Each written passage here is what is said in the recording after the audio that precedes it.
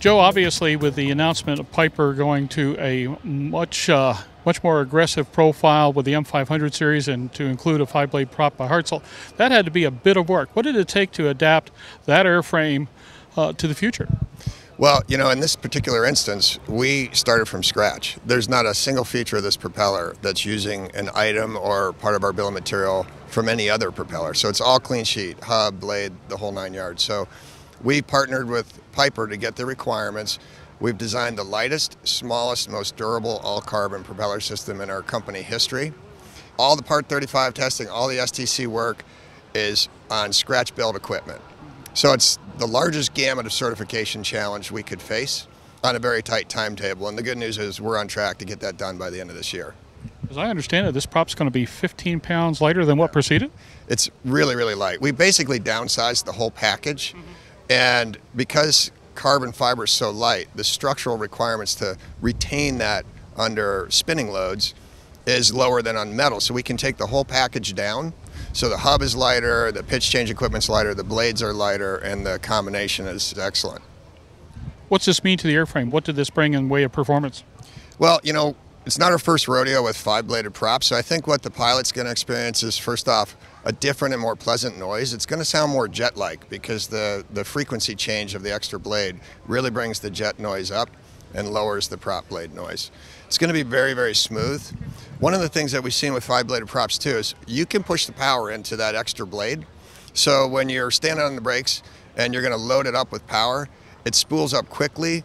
It takes that energy and turns it into um, forward thrust right away. So I think they're going to like that. The prop is designed for takeoff and climb performance. We think cruise is going to be excellent, but we think they're going to feel that tractor pull. They're going to feel it in the seat of their pants. We want them to put the power in and let it roll, and the Piper guys we think are really going to like it. As I understand, similar treatment is expected for the M600? Well, you know, we serve at the pleasure of our customers. but, you know, our long term product strategy is to have the right product for every single turboprop and piston aircraft being built today. And clearly, the M600 is one of our target airplanes. And we have innovation that we would like to deliver to that. So we're just going to stay tuned and, and let Piper give us guidance. Joe, thanks very much for joining us on Aero TV. Thank you.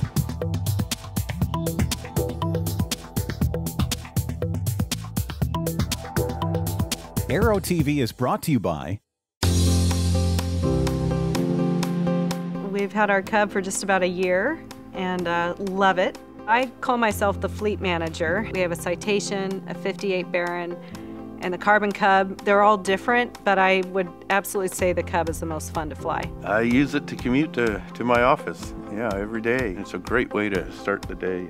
I can't wait to have the day end and able to fly it home. It's just fantastic. It's really changed our lives in that Dave's commute used to be an hour on a really busy freeway, and now within 15 minutes he's home with a smile on his face, you know, not after an hour of sitting in traffic. And we're really fortunate to be able to use it the way it was designed and built to be used. Our strip here at the ranch is just under 700 feet.